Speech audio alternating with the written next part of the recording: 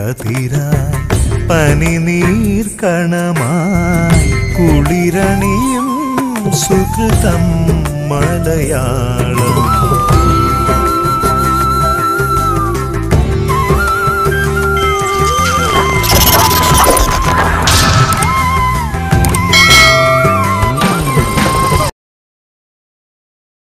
മണിപ്രവാള പ്രസ്ഥാനം പ്രാചീനം.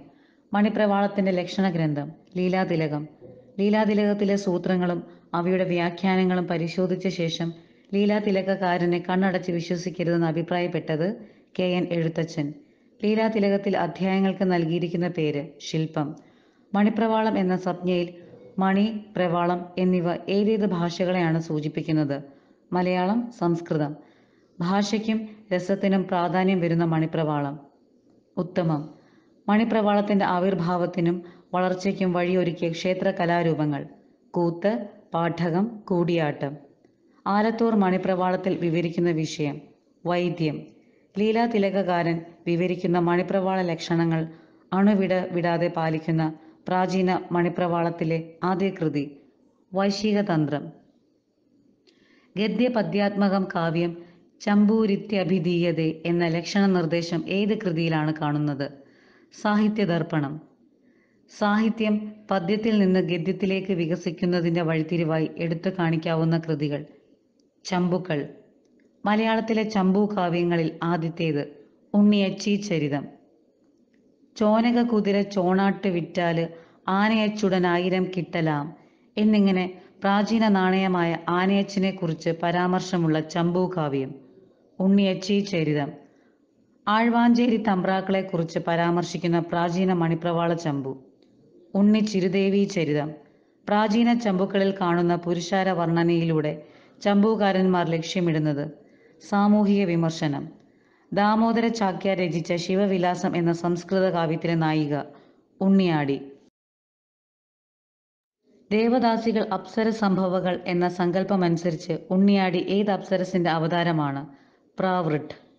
പ്രാചീന ചമ്പുക്കളിൽ ദേവേന്ദ്രനും ഗന്ധർവന്മാരും മറ്റു ദേവദാസികളെ സന്ദർശിക്കാനായി വന്നു ചേരുന്നു എന്ന് പറയുന്നതിലൂടെ ചമ്പൂകാരന്മാർ ഉദ്ദേശിക്കുന്നത് നായികയുടെ കീർത്തി സ്വർലോകം വരെ എത്തി എന്ന് കാണിക്കാൻ.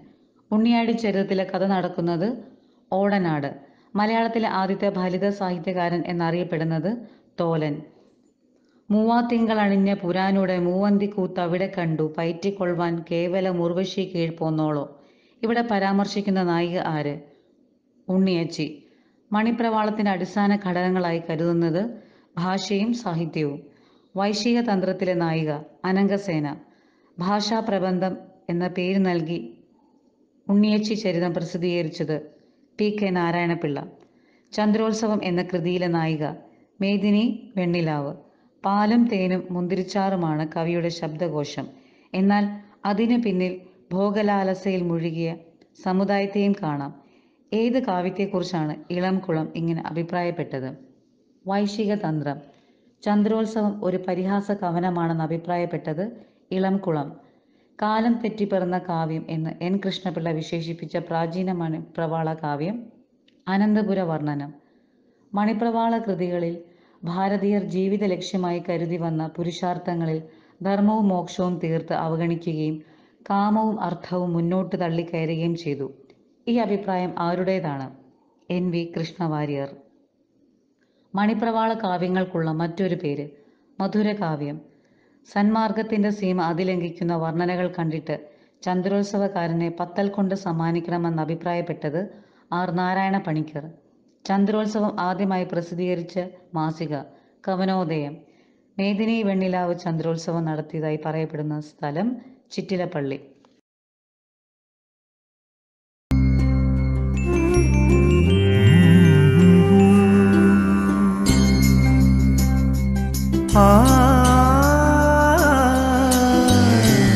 മലരായി കതിരായി പനിനീർ കണമായി കുളിരണിയും സുഹൃതം മലയാളം.